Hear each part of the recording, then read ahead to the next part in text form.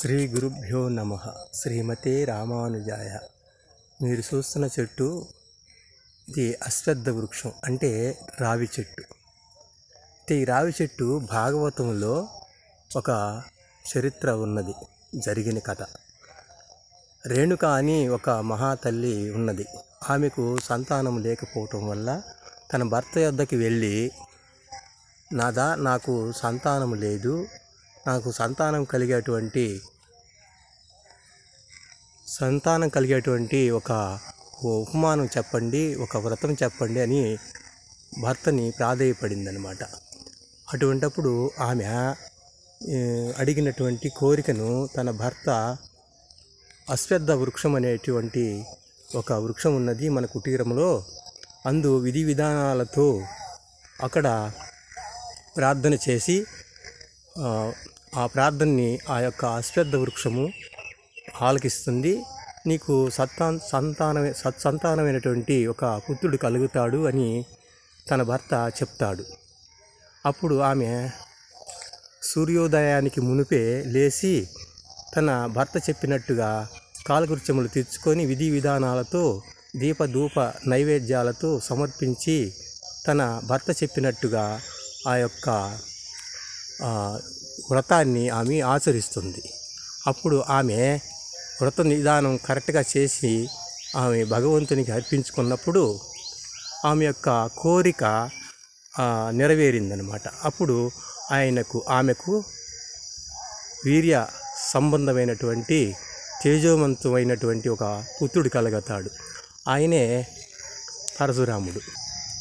అలా ప్రార్థించినటువంటి ఆమెకు ఆ రేణుక అమ్మకు ఒక వీర్య వృద్ధి కలిగినటువంటి శక్తిశాలి అయినటువంటి ఒక పుత్రుడు కలిగాడు. ఆయనే బలపరాక్తవంతుడైనటువంటి ఒక తేజోవంతుడు అనమాట పరశురాముడు.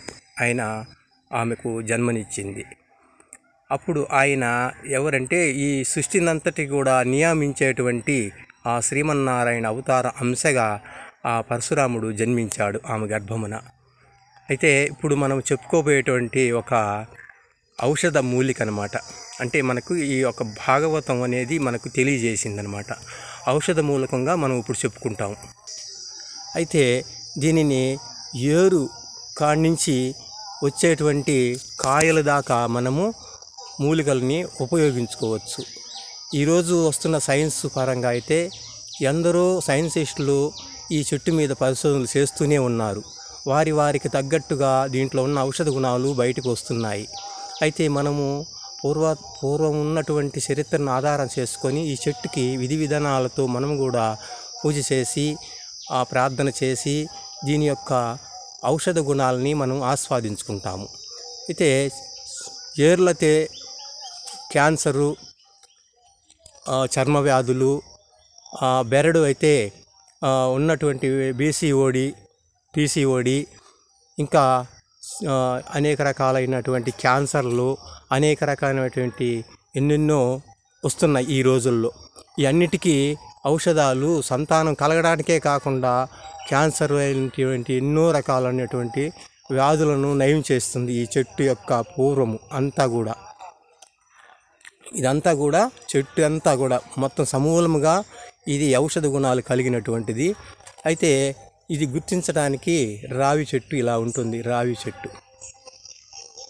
దీని కాయలైతే సంతానం లేనటువంటి పురుషులకు అంటే వీర్యవృద్ధి కాక అంగస్తంభం జరగకపోవటం వల్ల వాళ్ళకు సంతానం కలగదు.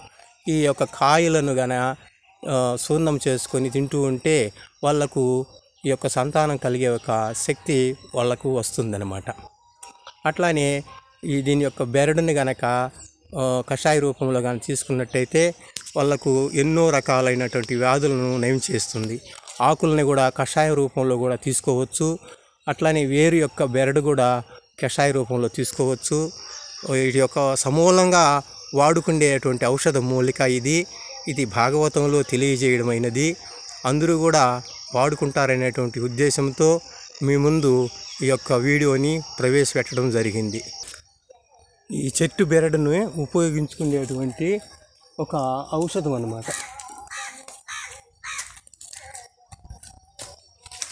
ఇలాంటి బెరడుని ఇట్లా చెట్టు యొక్క బెరడుని తీసుకుని ఇట్లా చేసుకోవాలి.